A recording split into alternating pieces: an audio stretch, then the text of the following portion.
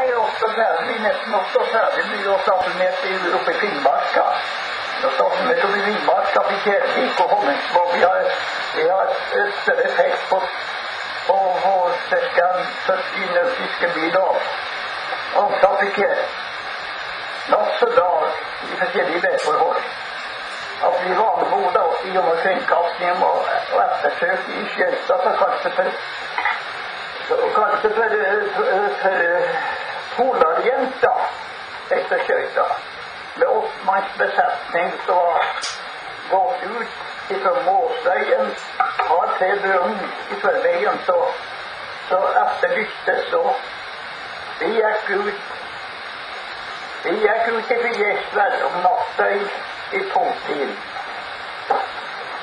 Ved kurs i nordlig, nordlig retning, altså for å begynne med.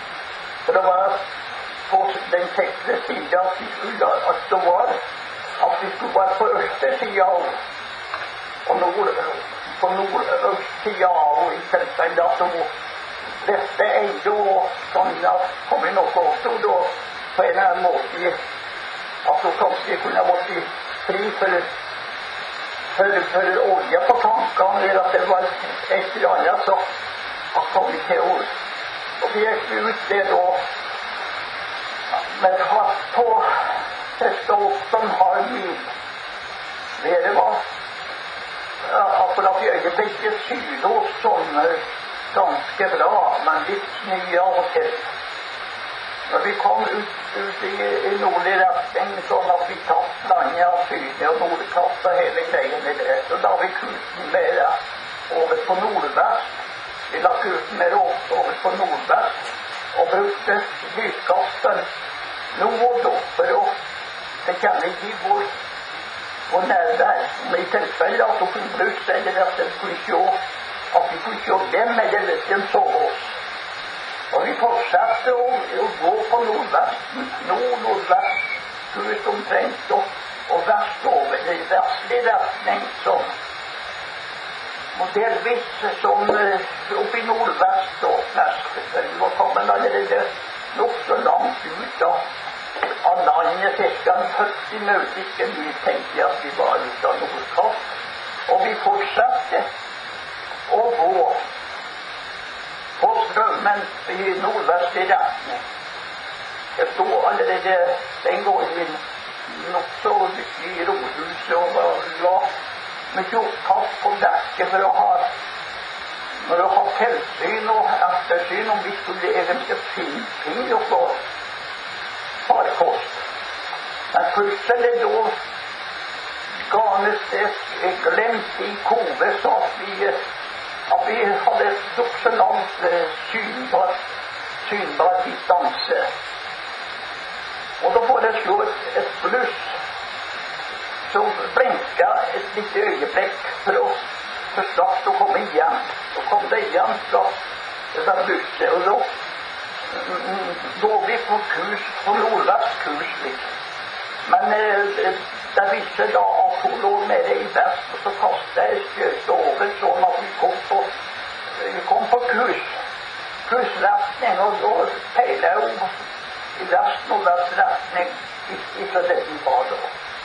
Og så vi har kursretningen direkte på. Så er det så lenge roselsen lå til hjertet og i stund og, og, og, pusta på, så får man overtak så varsler han om dag de må kjøre på. Kjør på nordvest, nordvest retning, kursretning. Og jeg fikk nå ikke akkurat fred nede, for jeg syntes det var spennende å få For det med disse her greiene her, for det utvikla seg. Og så går det opp igjen, og jeg har vært nede en times tid og hadde fått meg en kaffe og tok på huset og sånn. at Det er helt rart. Jeg, jeg var liksom i, i bedre form da igjen. Så det sliter, men det var mye kaldt og, og frost. Det var, var mye kaldt og skjult og delvis over med is og greier. Og når jeg kommer opp, har vi allerede gått på to timer ifra da at vi så blusset og til vi har gått altså to timer. Men ennå har vi ikke kommet til oss. Og den fortsatte å blusse, for den har antagelig sett lyskasteren vår, som vi nå da bruker, og så lenge han med. For at de skulle forstå at det var, det var folk eller skjønta som kom. Og så går det over bygda med kjeftene brassbanen igjen, og så fortsatte de bortover etter, etter den retninga. For da begynte å lysne på morgenen da. Det var seint på morgenen, men han begynte å lysne da, ja. Lysne fra ut av da Kove ga seg av og til. Vi hadde sånne bøyer nå og da, men vi, vi så vi så på kompassen og hvilken lasten. vi sto. Tenkte, tenkte til tilfelle han og legge. Og så kommer vi på et blått hold til henne. Og så ble vi oppmerksom på da at det er polarjenter, ja, så, så vi ettersøkte, og at vi fant jo det.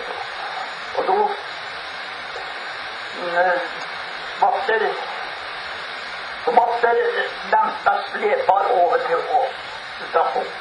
Men det var så dårlige slepar at vi kunne ikke ta den. Og så hiver vi videre eller livkabelen over til hovedkastlina som den kan ta fast. Og står det, står i engen av Står det i engen ut av livkabelen Han var, han var eh, altså den som var fruktbart for om det livet den det la seg i.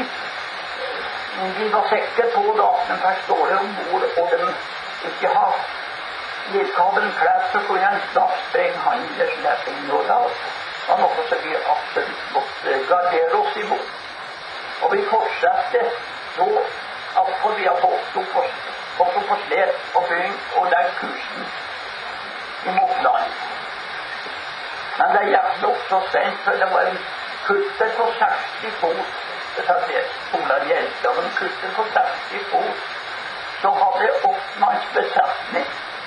Og vi to slepte vi tok og begynte å fant på, men det gikk ikke fort, ikke akkurat.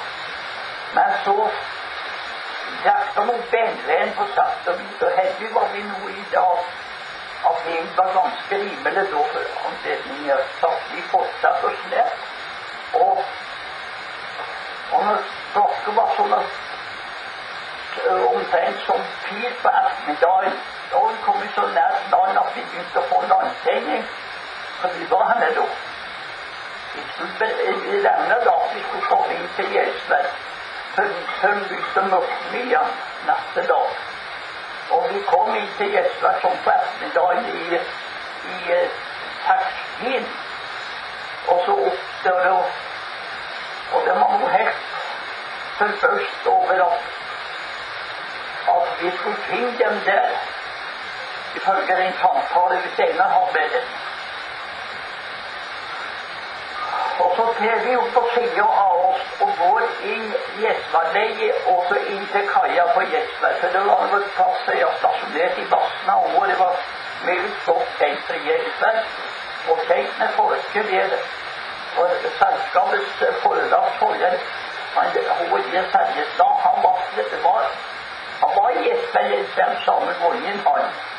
Han var aldeles begeistra over at vi har gjort en stor en stor redningsbåt har man kalt det for den der Hun har vært savna i tre døgn. Og det heter da at hun har fortsatt jo å dreve i. Det sier vi ja. Får jo det da. Men vi fikk nå inn til Gjesvær, og det var alarmert med da hele Vest-Finnmark om at den polarjenta så gikk ut ifra Hammerfest en tre-fire døgn i forveien og ikke kunne finnes noen sted. Men vi fant jo det. Så var det relatert til Redningsselskapet om at, at og, og til, det pårørende Han skal altså holde på med jenta, og spesielt ikke han Johan Rakkenes. Han var fra Rakke, Rakkenes i Langsund. Ja. det en meddelelse som da at dere ikke krangler hva komme inn.